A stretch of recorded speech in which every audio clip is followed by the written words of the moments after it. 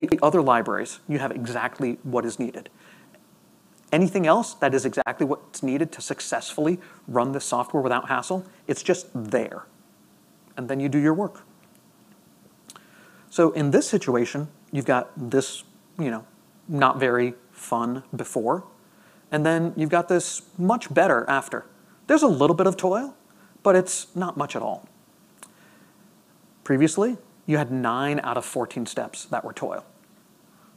In this scenario, this magical scenario, you can cut it down to just two steps of toil, and your total number of steps is 50% less. That sounds pretty good. You're spending less time on that and more time on what you want to do, on what you need to do. This problem can be even worse at work because when you get a new job, you have to get a new uh, machine. Um, there are multiple projects that you're working on concurrently. You've got coworkers who might have slightly different machines, right? They're running maybe Ubuntu 21.10 instead of your 22.04. And then you check in your change, right? And it breaks for them. And then you say to them that classic phrase, well, it works on my machine, right? And you also have to debug it in CI, all of those other things. These same problems that you have contributing to open source, they exist in professional software engineering as well. Assuming, of course, that you're not working professionally on an open source project. In that case, you get the worst of both. So here, you know, more frustrating toil. You basically have to be ops for your own machine. And have you ever met a happy ops person? They're not. They're not happy. And they didn't start that way. They used to be happy people, but then they had to do all this shit over and over and over. And it made them a little bit unhappy, a little bit grumpy. The thing is, you spend too much time around the software. This was a survey done a few years ago by Electric Cloud, which is now defunct. Pour one out. Um, in an approximately 40-hour work week, 10 hours were spent managing the environment, managing the workspace, libraries, OS updates, all that stuff. And then there was also a lot of time lost waiting for tests to complete because machines might be under-resourced, and similarly, waiting for builds to complete. Now let's imagine a professional scenario. Let's imagine a company, let's arbitrarily call it Redoc. We've got Adriana. She's a new software engineer joining from the lovely city of Florianopolis, Brazil. We've got her new manager, Bia, who works out of Montreal and Quebec. And then we've got Chinwe, who's the VP of engineering working out of Atlanta. This is what Adriana's day one could look like. She opens up her shiny new laptop. She authenticates with GitLab. She loads their instance of their cloud workspace system. She selects the workspace that Bia created. She starts her local IDE. She runs a build and a test, which passes perfectly. And then she starts work. This is done in 10 minutes. There's no unnecessary crap here. There's no frustration. There's no dealing with all of the little things that get in the way, all of the little rocks in your shoe as you try to walk down your first day. And that's because her manager, Bia, got there on day minus one. She went into the app, she created click, work, uh, she clicked create workspace. She chose a shared developer image that had already been created, and that developer image is built on a Linux image that matches their production.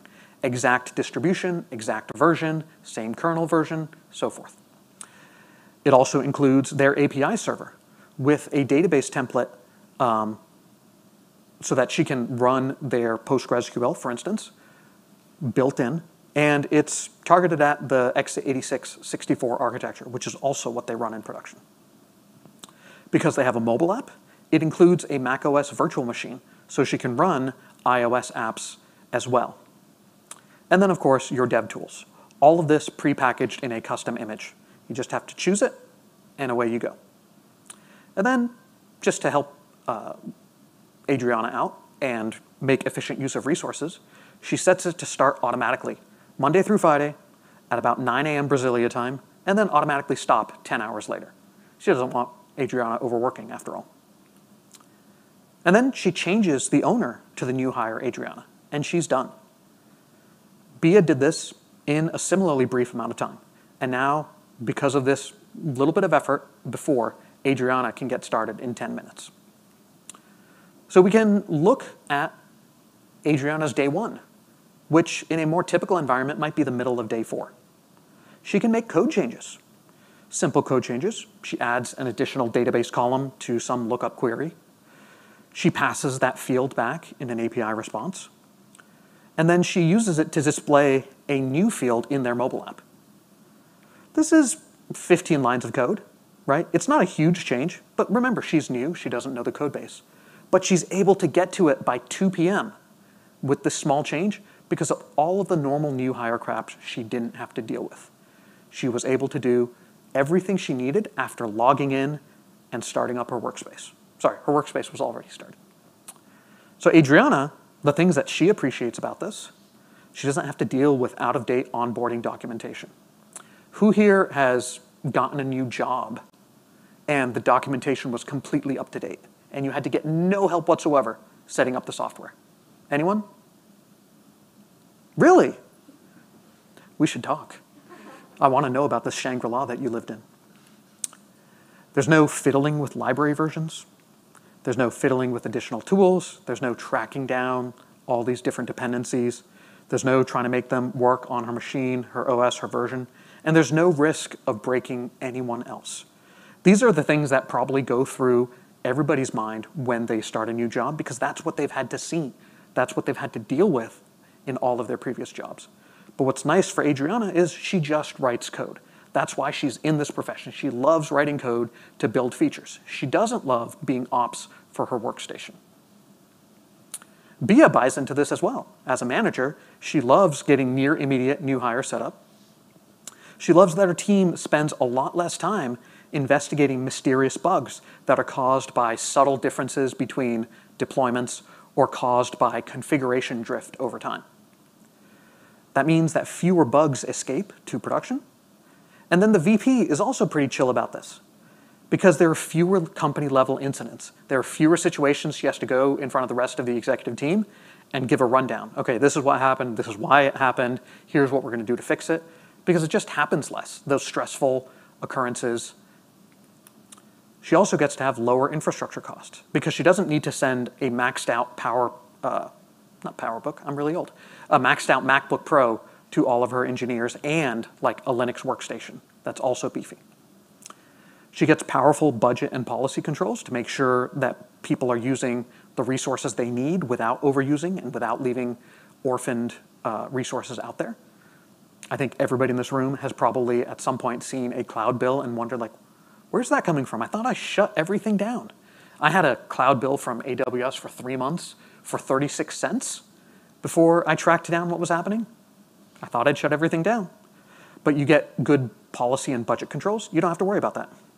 And then she also to has to worry about compliance and security requirements. And she can satisfy those through the system.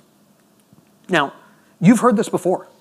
This is like the second time DALL-E has ever made a realistic face. That's not terrifying, so congratulations, DALL-E. What's changed are VMs and containers. There are many, many container and virtual machine images. It's become standard over the last 10 years for VMs and maybe the last like six, seven years for containers. There are tons of options widely available for running these VMs and containers. Um, different architectures, different GPUs, different levels of power, low power CPUs, brute force CPUs. These are easy to customize. It's very straightforward to build a custom Docker image. Even I, as a pointy-haired boss, can do it. And then these are easy to distribute. The tools pull them down automatically. You just point them at a registry, and you have it. The infrastructure has also evolved considerably. There are powerful and varied cloud capabilities. We are all the beneficiaries of Microsoft, Google, and Amazon trying to steal each other's market share. They're building really amazing stuff. They're also a lot cheaper. The cost of cloud has been going down, down, down, and it's going to continue to go down. And then if you don't want to go cloud, you have robust software for managing on-premises resources, hardware that you own or just control. You have Kubernetes, which I think half of the other companies here are doing something with and other orchestrators that can dynamically provision resources as you need them for example, when somebody is running a really big build, but then also release them when you don't need them anymore. So you get a level of flexibility here that you maybe couldn't have before. There are also remote capable IDEs. They can run in a browser or on a local thick client connected to a remote workspace. You can do this with JetBrains IDEs, VS Code, RStudio, Jupyter, and more. There's also a problem of big, big code bases. Big SaaS companies have big code bases. They've got so many different services. They've got so many different deployables. I used to work at Indeed, and we probably had five deployables per software engineer just because the system was so vast.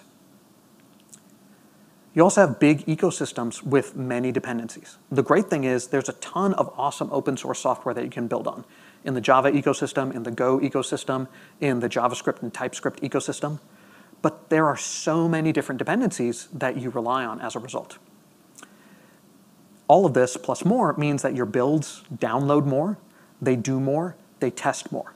Much greater demand on resources than your typical application 10 years ago. And then you have to support more architectures. A medium-sized company today probably deploys on Linux, may have a Windows app, will likely have an iOS app, an Android app, maybe a Mac OS app as well. They have to support three different uh, CPU, well, sorry, not CPU architectures. They have to support three different desktop operating systems and two mobile ones. You have to support x86 64, ARM64, ARM7, GPUs. The hardware proliferation continues. And then you might have specialized use cases using different operating systems, using different architectures that are specialized to Internet of Things, automotive, uh, network switches, and so forth. All those pictures on the bottom right are uh, courtesy of DALL-E, by the way. And then there are increased regulations and stricter policies. Software is making big decisions. In some cases, you know, maybe criminal justice, maybe it shouldn't, but nonetheless, it's making big decisions. Decisions about that, decisions about whether uh, it should stop, whether your car should stop because of something in the road. Big, serious decisions. And so the software needs to be examined very carefully, needs to be built very carefully. Companies, as a result, have comprehensive IT policies, managing their data, managing their code, managing their physical and virtual assets. And then regulators, they too care a lot about this through laws like Sarbanes-Oxley and comparable ones in other countries. And we also have a more threatening security landscape. Laptops get stolen or lost, and that was true 10 years ago, 15 years ago. What is different is people use laptops as the standard computer, where maybe that wasn't the case before, and they're working on software or sensitive data a lot more than they used to be. So this risk has gone up considerably. Hackers will steal code and data from insecure computers, especially on home networks. And then bad actors inject malware into source code so that they can attack the downstream users of that software. I'm sure a number of you are aware of the SolarWinds hack that was discovered in late 2020, which was exactly this kind of supply chain injection problem. And then, of course, our buddy, COVID-19. Lots of people are remote now and are quite likely going to be remote forever. I myself know I'm never going to work in an office again. You can have sufficiently powerful workstations for all of these needs, but they aren't portable. And then your portable workstations aren't sufficiently powerful. And that's kind of frustrating, right? Like, why can't you have both? It turns out the future is already here. It's just not evenly distributed yet. Attributed to famed cyberpunk author William Gibson, who might actually have said this. This future is already here for engineers just like you who work at Facebook and Google, Palantir, Stripe, and more. Not many more, just a few more, but they've done it. Remote workspaces, they can do what the local ones do. They can host an IDE, they can execute the builds, run tests, run a debugger, they can connect to service dependencies like other microservices or databases, and they can connect to the internet, assuming, of course, you want them to and you allow that with your network policy. Remote also does what your local workspace can't, or it can't do well, or it can't do affordably, can't do securely. It'll live in a secure network if you so choose. That limits direct access to data or code. because you never have sensitive data or code on a remote endpoint. You access it through a controlled system. It can also provide more resources. You can get many more cores, a lot more RAM, and it provides efficient resources to efficient access to scarce resources. If you tried to buy a GPU a year ago, it was really hard. Gamers wanted them, data scientists wanted them, Bitcoin miners wanted them. And those data scientists use the crap out of them. They run enormous jobs for really important business use cases, for example, at hedge funds. And then it can easily replace workspaces. If yours is acting funky or weird, you just throw it away, build another one. It's trivial. If somebody told you you had to re-image your desktop computer or your laptop computer to fix a problem, you wouldn't be happy. But this, easily disposable. And then you can switch between different workspaces that are running simultaneously. You can switch between different operating systems and architectures that are running simultaneously. You don't have to deal with local VM software, dual booting, or anything like that.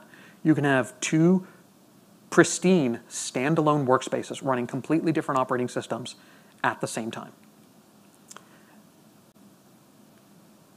It's better in just so many ways. You get more productivity, you get better security. You have an efficient use of resources because you can grab resources when you need them and release them when you don't. You can have consistency through all of your developer workspaces, your continuous integration, your production deployments. You have a lot of flexibility. You can use any kind of operating system that you need or want. You can use any architecture that you need or want. You can configure these workspaces any way you want. You have convenience and portability. It's so easy to get started. It's so easy to switch computers.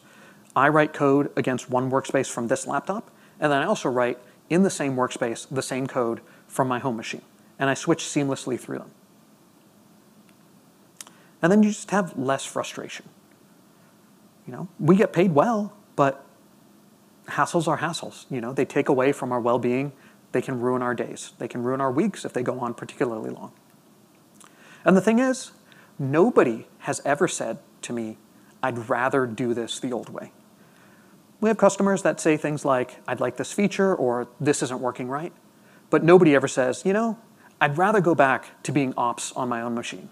I'd rather go back to having an underpowered laptop for these giant builds. What they say instead is, I will quit if you take this away from me. So I said the future is already here. It's just not evenly distributed yet. This all sounds like a shell script and a Docker file. It turns out this is a much harder problem than it seems. So it's required the resources of a large corporation to get it right. The shell script and Docker file will work until it doesn't.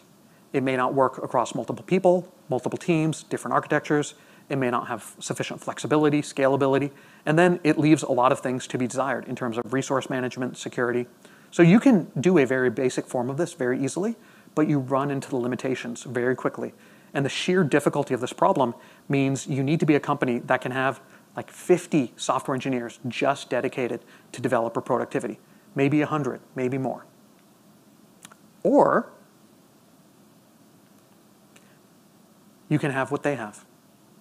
Coder is now free under the Affero GPL, and it's free in terms of money you go to github.com slash codercoder or to our homepage at coder.com and you can get it today. We made Code Server, which some of you uh, may have used before, very popular. This takes what Code Server does and expands it to a robust, comprehensive platform. It's no longer just an IDE in a browser. It is a complete replacement for everything that you do locally on your machine to build software.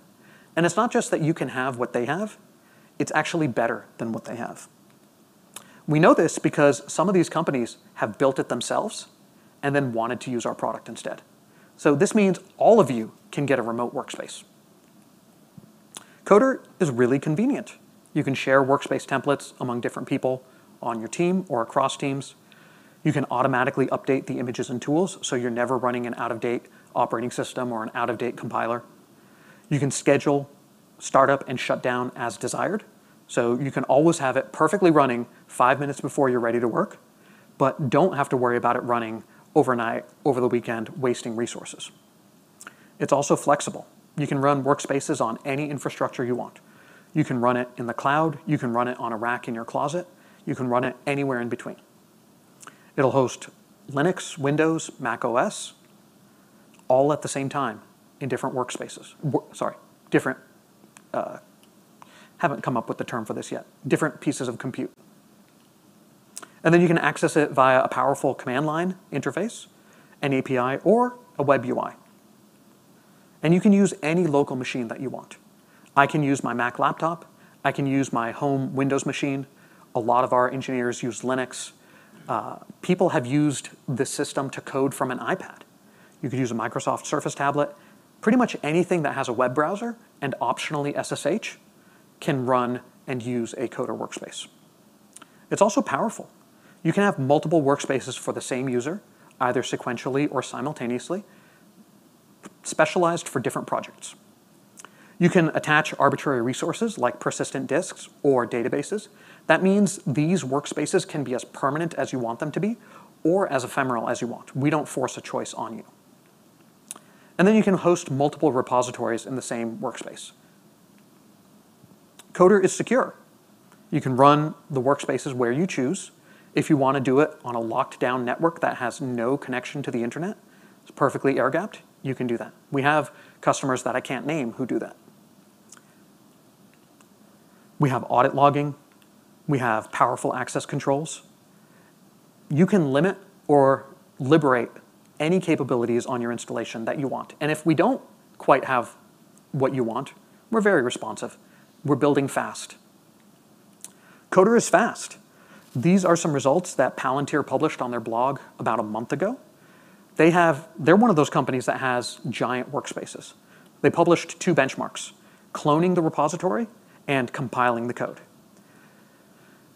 In their remote workspace, compared to the local laptop that their software engineers were often working on, they could get almost five times as fast a clone. This must be a giant repository if it takes 40 minutes to clone. Right? This is the type of thing that these large companies are facing. Their backend for this project was considerably smaller, but even there, it was 1.7 times faster.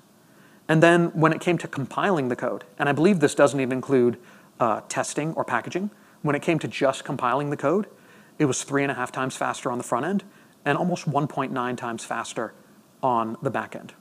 Imagine how much software engineers get paid, and imagine how much time this frees up for them to do what employers and software engineers want to do write code to deliver awesome features instead of waiting, instead of staring in frustration at this very, very long build. You can try Coder right now. Two lines. Download our install script, pipe it into shell to run it, and then you can invoke Coder server. This uses an embedded DB, uh, uses an embedded Postgres so that you don't have to download anything, connect anything.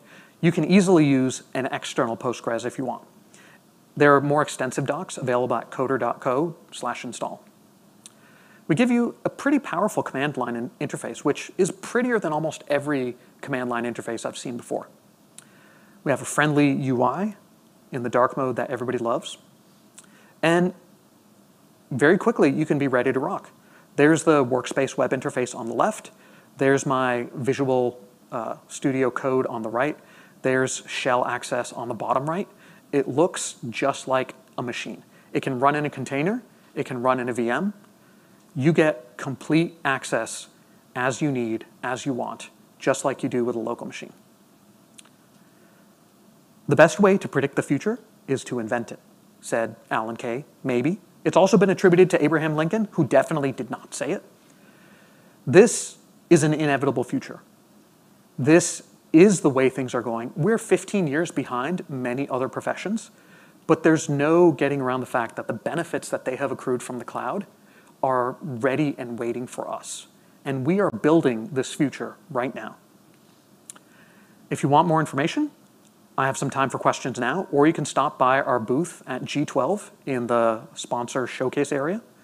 You can also go to our GitHub, um, coder.com, and then you have our installation docs at coder, uh, cdr.co slash install. And there's also the, uh, install instructions. So cool. Thank you for coming. I think I saw a hand raised in the back.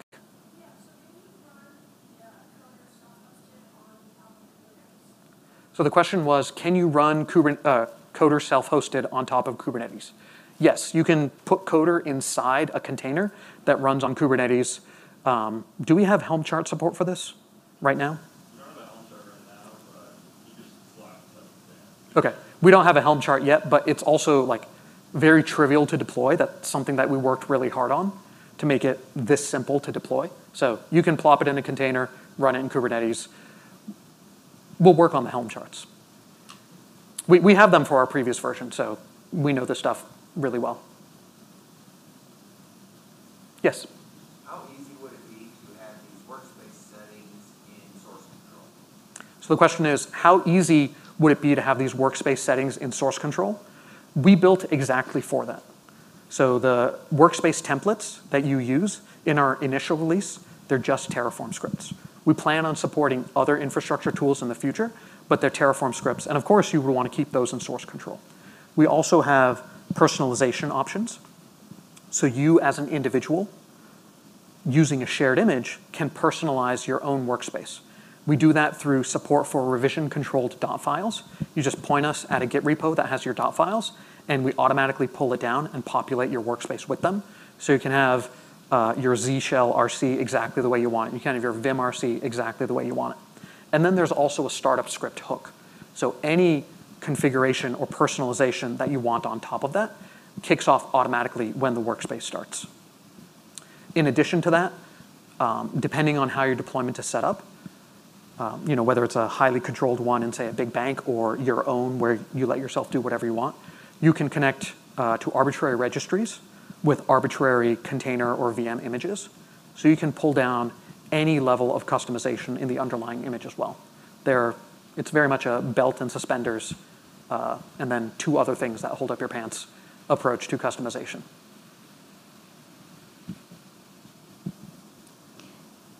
Check, check. Oh, we have some questions from online. Yes, please. Um, all right. Does Coder support iOS development without a Mac? If I use a Coder on my Linux workspace, can I use an image to get iOS tools and a compiler for the apps? We do not currently support running iOS. Um, I'm not sure what's involved in that. With macOS and iOS, there are kind of tricky licensing issues. So they're not technical issues. So I believe only one of the major cloud providers can actually offer Mac VMs. There are a couple of smaller providers that can do that, but there are some non-technical hurdles that get in the way of Mac OS support. Um, you, you can do it. It works perfectly from a technical point of view. Just the licensing makes things a little bit more complicated. Um, I believe that applies to some extent with iOS, or I could be making that up. So uh, if you have access to a Mac OS machine that can host Coder, you can use the iOS tools that are included with Xcode and similar. Um, but iOS natively, we currently don't support. Okay, I have a lot more. okay, what's the difference between Coder and Code Server? The difference between Coder and Code Server is that Code Server is an IDE that runs in the browser, so you can edit your code, um, you can interface with a terminal. Um, you can interface with a revision control. It gets a little more, more complicated if you want to run more complex builds, um, if you want to do like more complex dependencies, if you want to have um, disposable workspaces, because Code Server you install semi-manually onto a machine you control. Um, it's also typically uh, individual. So you install Code Server for yourself Coder is meant to be a platform that can be used, yes, by the individual, but also by a very large organization. Looking over there to make sure I didn't get anything wrong. Cool. What is the minimum requirement to use Coder for five or six people? Yeah. Oh, I, I want to add something to my previous comment. Code Server is a tool that you can run on the Coder platform. So if you like Code Server, great.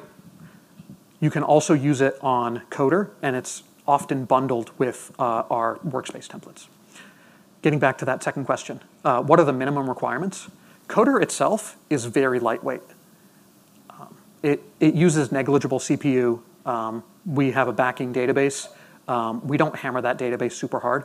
So running our control plane is very lightweight. You can run it on a very modestly spec machine. You know, one CPU, one gig of RAM, probably less. We haven't actually done any testing to find that lower bound. Where you're probably going to be more limited for resources is in your workspace. In order to have an efficient running workspace, you want a lot more power, right? To get those fast builds, to get those fast test execution. So that's completely up to you. We provide the control plane. The underlying infrastructure is entirely up to you. You spec it out yourself. It could be a physical machine that you own. It could be something in the cloud. And those resources basically depend on the performance that you want and are willing to pay for. Are there any plans to integrate with GitLab similar to other projects? Yes, there are plans to integrate with GitLab. Um, we can integrate with GitLab for authentication um, very soon. Um, we can integrate um, with GitLab for like pulling in dot files. One of the nice things also is um, when you are authenticating, or if you have set up an integration with one of these version control systems, when you drop into your workspace, all of the keys are already there. They're already loaded in a session. So you don't have to do any like Git authentication, anything like that. You just do a Git clone or a Git pull, and it works. So we have um, pretty decent integration um, with those things. Um, it exists in our V1, and very soon we're going to add more than GitHub to our V2. But right now it's GitHub. Sorry, question in the back.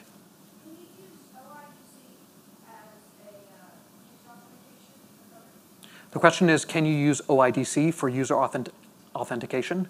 Yes, we definitely support it in V1, and we have support for it in V2, this open source version as well. How does this work versus, say, Gitpod.io? Looks like more feature rich, but similar idea? Question mark. Um, the question is, oh, sorry, you had the microphone. Um, Gitpod is another company that's in this space. Um, I want to be careful how I say it because I think I think they're competent, capable people who are building a you know reasonable product. I don't want to sound like I'm disparaging them, but our product is better. One difference is that theirs is a SaaS product. They do have an open source distribution, but it's not, I think, front and center. So I, I don't know how challenging it is to uh, deploy and install. What I've found in, in my professional experience is when you have a SaaS online type of product, gathering up all the various tendrils of that to make it something that somebody else can deploy and install is very challenging. So they may have run into that problem. Um, they, I believe, have more limited support for different IDEs. They have um, more limited support for the resources. I believe that you rent the resources directly from them to run workspaces, and so uh, you can only use what's on their menu. Um, those are a few of the differences. So um, what we've been able to do with our product, in part through working very closely with some really big companies, is we've made it very flexible, very powerful. Um, we are very unopinionated about which tools you should use, which platforms you should run on, which architectures you should use, which infrastructure you should use. We want to align to the many choices that you've made to fit your needs. I think SaaS products are less able to do that.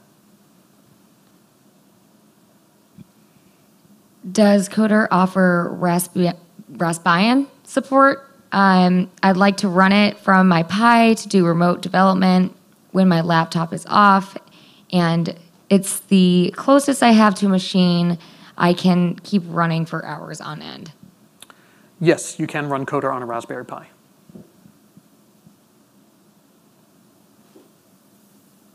Yes, question there. What is the networking requirement for how clients connect to their workspaces? Is it over 2422 Yeah, so the question is, what are the networking requirements to connect to your Coder instance? This is uh, one of the clever bits.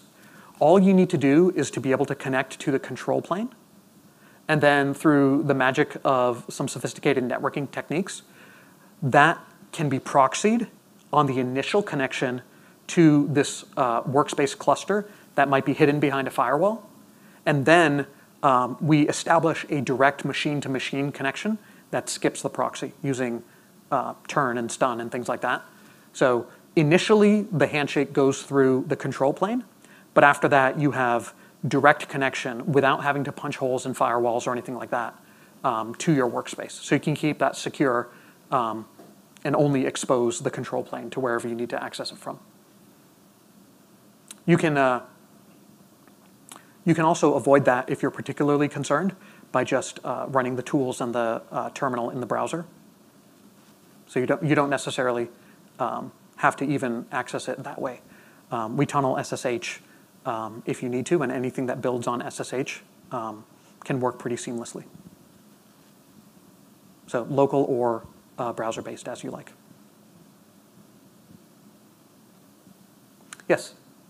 How are you monetizing this? Is- Or where's the paywall at? uh, like, when you- when you go from self-host to, uh, SaaS? Yeah. So the question is, how do we monetize? Or uh, in another sense, like, when do you have to start paying?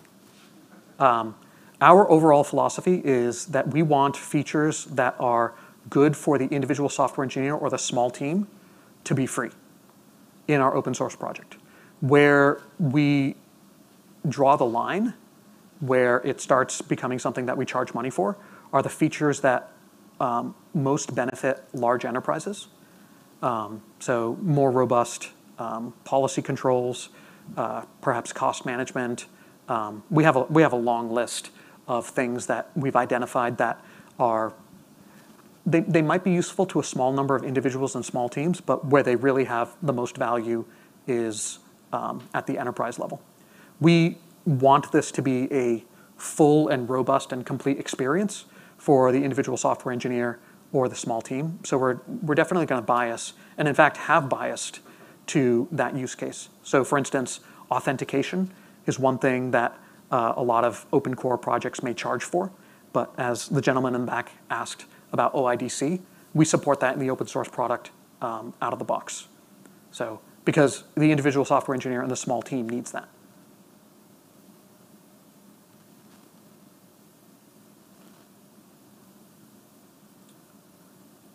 All right, we are good. Thank you all for coming.